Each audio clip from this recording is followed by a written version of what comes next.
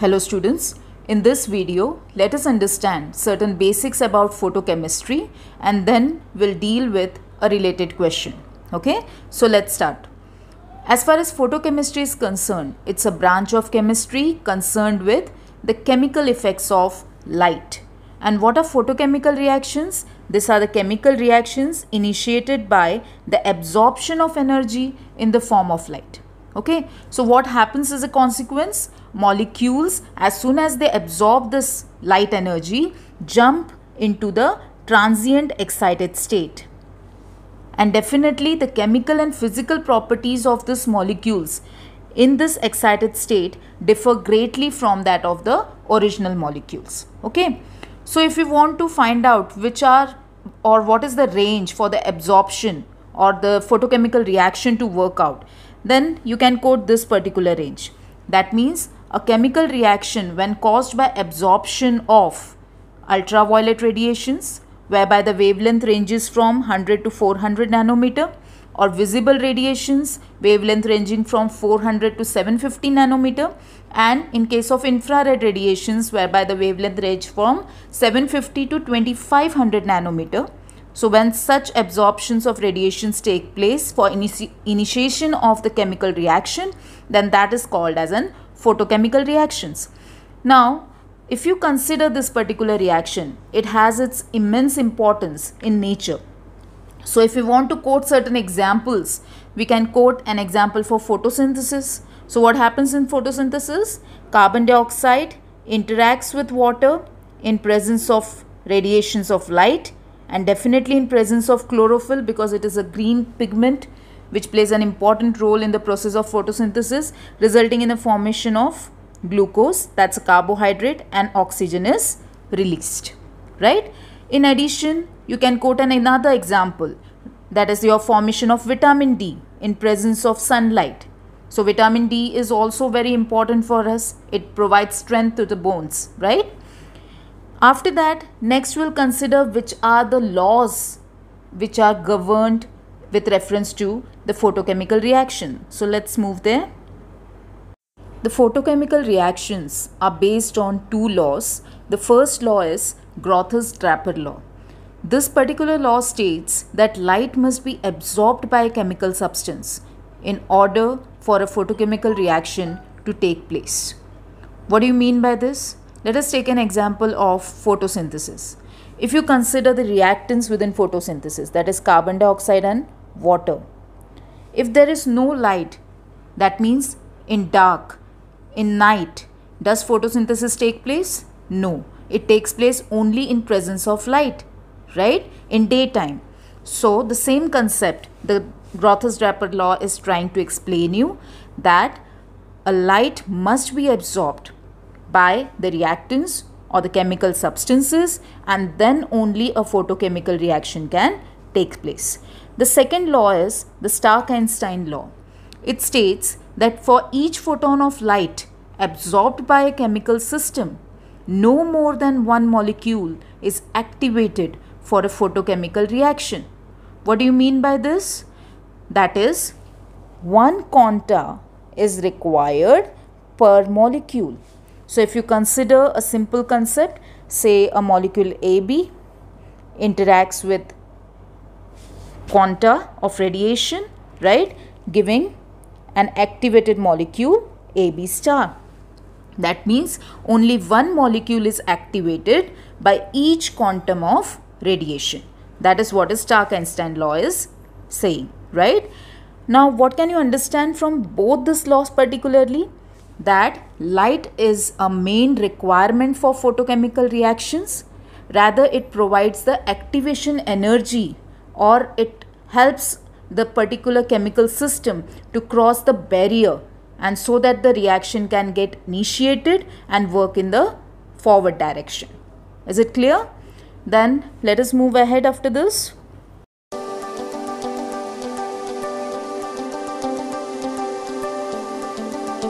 Per the Stark-Einstein law, only one molecule is activated by each quantum of radiations. In the same reference, that is we can say energy is quantized and is in the form of packets that is in the form of quantum of radiations. Okay. Next characteristic we can consider is with reference to the temperature. Photochemical reactions are independent of temperature. That is, temperature has very little effect on the rate of photochemical reactions. Instead, the intensity of light has a marked effect on the rate of photochemical reactions. So, if light intensity is more, definitely the rate of photochemical reactions will be enhanced. The next characteristic we can cons uh, consider is with reference to the free energy change. How is free energy change related? Free energy change is a thermodynamic parameter related with respect to the enthalpy change and the entropy change in this form that is delta G is equal to delta H minus T delta S. So overall free energy change of any system will depend on the enthalpy change of that system as well as entropy change of that system. So overall in case of photochemical reactions it has been observed that these are spontaneous in nature and the delta G associated may be positive or negative. If you want to consider why they are positive, that is because reactions require energy in the form of light for their initiation. Okay? So definitely if there is a requirement of energy for a chemical reaction to work out that means the associated free energy change is positive. And what about the negative free energy change? Since the reactions are spontaneous as soon as they absorb the light and so we know in case of spontaneous processes delta G is always less than 0 that means it has negative value okay then after this we will consider what would be the change on the internal energy of the system in such case of photochemical reactions. Internal energy is the energy contained within the system. Now in case of photochemical reactions, it has been observed that the internal energy of the system does not increase as the reaction proceeds or as the uh, quantum of radiation has been absorbed by the system. Now what can be the reason for this? See if you consider the overall photochemical reaction, it can be distributed into two that is a primary reaction which is taking place and a secondary reaction. Now what is the primary reaction? As soon as the light has been uh, absorbed by the reacting system. So the immediate consequence of absorption of light, we can consider it as an primary reaction. The secondary reaction is associated with the subsequent chemical changes that may be taking place due to that absorption of light. Okay, now let us consider the various possibilities of this primary reaction. That means what all consequences can take place within that reacting system due to absorption of light and because of which the internal energy of the system is unaffected. So the first consequence is regarding dissociation into radicals. So if I consider the molecule AB when interacts with radiations, it can dissociate into radicals as A plus B radical. Okay. Similarly, the next consequence can be said that is dissociation into ions. That means this can be dissociated as A plus plus B minus. Okay.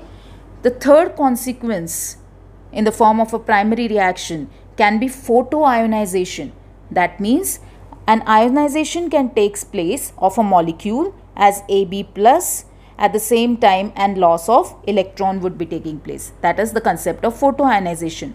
The other possibility, the other consequence may be the activated molecule that we have already seen. It is also called as an photoexcitation. That means molecule can be activated to an excited state. So that is AB star or the other possibility is an intramolecular rearrangement can take place which is also known as photoisomerization okay so intramolecular rearrangement can take place within right that means overall what we are trying to understand through this all uh, dissociation purposes or photoionization or photoisomerization is we are trying to understand that internal energy of the system is not going to alter since that energy is being either absorbed or dissociated in this particular form.